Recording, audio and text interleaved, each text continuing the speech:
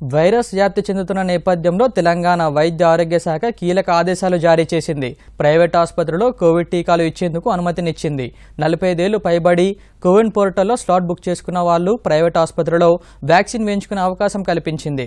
Private సెంటర్లు ఆసుపత్రులకు ప్రభుత్వం ఎలాంటి వ్యాక్సిన్ సరఫరా చేయదు. ప్రైవేట్ ఆసుపత్రుల వారు టీకా మందును కంపెనీల నుండి కొనుగోలు చేసుకోవాలని సూచించింది.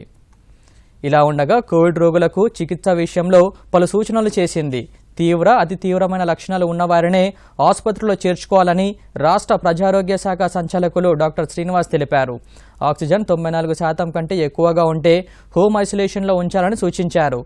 ప్రైవేట్ ఆసుపత్రిలో పడకల సంఖ్యపై ఆసుపత్రి బయట వివరాలు ఉంచాలని ఆదేశించారు.